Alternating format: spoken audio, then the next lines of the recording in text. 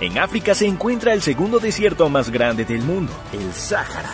el cual es el hogar de animales realmente aterradores, como el escorpión de cola gorda, cuya picadura puede acabar con un humano en 7 horas, la víbora cornuda del desierto, que tiene un veneno muy tóxico, o el dromedario, que puede atacar con sus dientes y patas si se siente amenazado. Lo peor de todo es que cada uno de estos animales se camufla en la arena esperando a que se acerque su presa,